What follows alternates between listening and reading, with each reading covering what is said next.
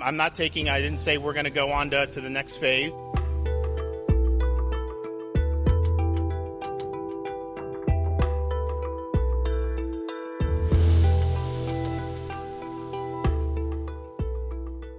Well, we're, we're, we are where we are. I mean, I'm, I'm not taking, I didn't say we're going to go on to, to the next phase. When people forget that, gosh, we're still in the midst of the pandemic. That's what you have in a community like ours. Then you start to see increased transmission, and then you start to see the problems, which is what's happening in our healthcare system. People got complacent. People got a little bit overly confident in our ability to manage, you know, more normally. And people started to act like it was summer. They started to act like they wanted to go back to parties and do lots of big things like that. And it's coming back and it's biting us, quite frankly.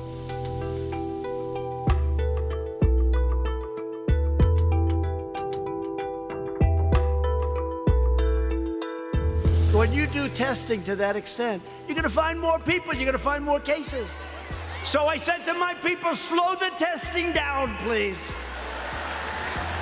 They test and they test. We got tests that people don't know what's going on. Huge, huge numbers of people, particularly in that 20 to 30 cohort, um, who are testing, but then testing positive. Again, from what we're seeing, I think that percentage is going to increase once we get this week's results in.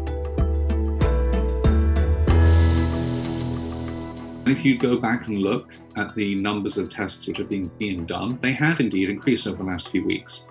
However, the proportion of them coming back positive hasn't really gone down. So it means that you're testing more and you're finding more, which means there's more there to be found.